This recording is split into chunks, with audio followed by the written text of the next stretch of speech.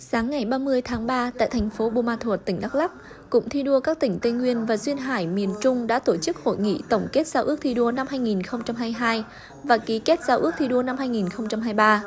Thượng tướng Trần Quốc Tỏ, Ủy viên Trung ương Đảng, Thứ trưởng Bộ Công an, thành viên Hội đồng thi đua khen thưởng Trung ương, phụ trách cụm thi đua đến dự, phát biểu chỉ đạo hội nghị. Tham dự hội nghị còn có đại diện lãnh đạo Ủy ban nhân dân tỉnh và Hội đồng thi đua khen thưởng các tỉnh trong cụm thi đua, gồm Quảng Nam, Quảng Ngãi, Phú Yên, Bình Định, Khánh Hòa, Gia Lai, Con Tum, Đắk Lắk, Đắk Nông và Lâm Đồng.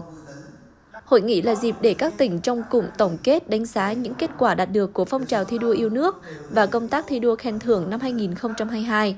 nhận diện rõ những hạn chế, tồn tại và đề ra biện pháp khắc phục, xác định phương hướng, nhiệm vụ, giải pháp chủ yếu để thực hiện tốt công tác thi đua khen thưởng năm 2023.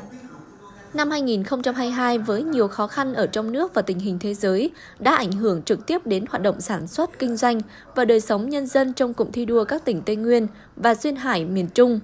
Tuy nhiên, với quyết tâm đẩy nhanh quá trình phục hồi phát triển kinh tế, phấn đấu hoàn thành các mục tiêu, cụm thi đua đã đạt được những thành tựu quan trọng và toàn diện trên các lĩnh vực. Kinh tế tăng trưởng khá, văn hóa xã hội có nhiều chuyển biến tiến bộ, quốc phòng an ninh được giữ vững, hệ thống chính trị được củng cố, tăng cường, đời sống của nhân dân được cải thiện.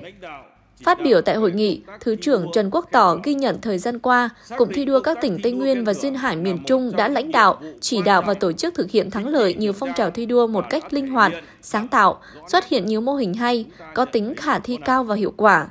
Thứ trưởng Trần Quốc Tỏ cũng đề nghị các địa phương trong cụm khắc phục những tồn tại, hạn chế đã chỉ ra, nâng cao chất lượng công tác thi đua khen thưởng, bảo đảm chính xác kịp thời, quan tâm khen thưởng nhân tố mới, người lao động trực tiếp, tập thể nhỏ, vùng sâu, vùng xa. Các tỉnh trong cụm thi đua cần tích cực giao lưu hợp tác, liên kết phát triển, tăng cường phổ biến, nhân rộng mô hình, cách làm hay trên các lĩnh vực.